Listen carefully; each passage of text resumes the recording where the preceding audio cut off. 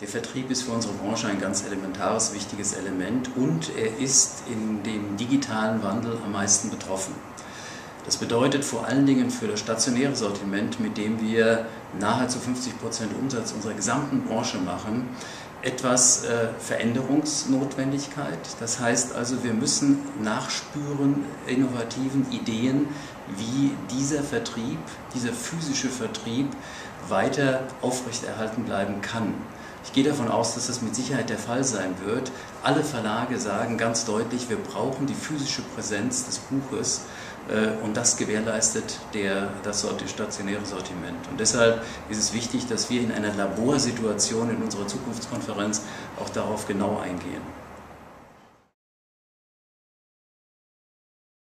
Sowie auch schon von der letzten Zukunftskonferenz Impulse. Impulse für die Branche, etwas, was man übernehmen kann, mit dem man weiterarbeiten kann. Das ist eben ein Labor, eine laborähnliche Situation, ähm, mit der wir diese Impulse setzen können.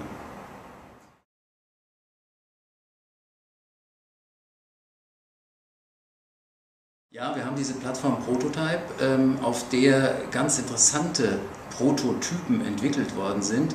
Die werden auf der Zukunftskonferenz am zweiten Tag präsentiert.